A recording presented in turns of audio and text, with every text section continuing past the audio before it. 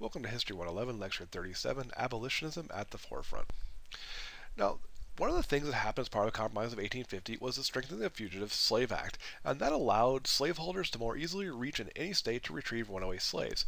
An accused fugitive no longer needed to be brought before a court. All that was necessary was to present an affidavit with a physical description of the runaway, and federal commissioners could turn over any person who appeared to be that individual. And it didn't have to be particularly good description. Basically, anyone who was vaguely resembled the individual described could be arrested, even if that was someone who was had always been free, and that empowered federal marshals to also compel bystanders and led to stiff fines and imprisonment for those who obstructed, and were federal funds that were provided to pay the cost of recovering fugitives, and the fugitives did not have the right to speak in their own defense, they had no right of habeas corpus, and they had no access to the courts. And all of this deeply offended people in the North, not only because they felt that this was wrong and a violation of many rights, but because they could also be compelled to face jail or prison sentences if they did not assist in what they felt was morally wrong. In response to this act, many militant abolitionists vowed to prevent the kidnapping and return of fugitive slaves through civil disobedience and mob violence. And despite a number of well publicized rescues, more than 300 alleged fugitives were enslaved.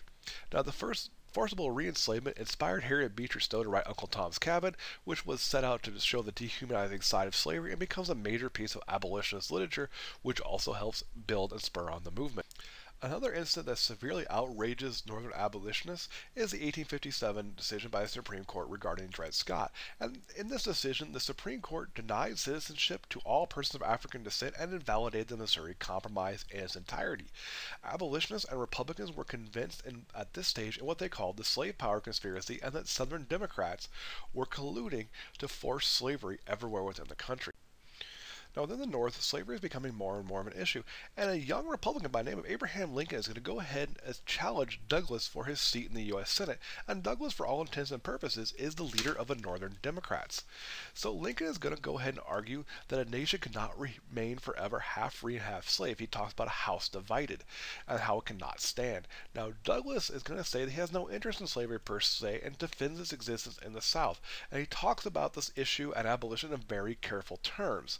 Now, now, Douglas is going to narrowly win re-election, but he's going to lose favor in the South because he didn't defend the expansion of slavery as vigorously as Southern Democrats wanted.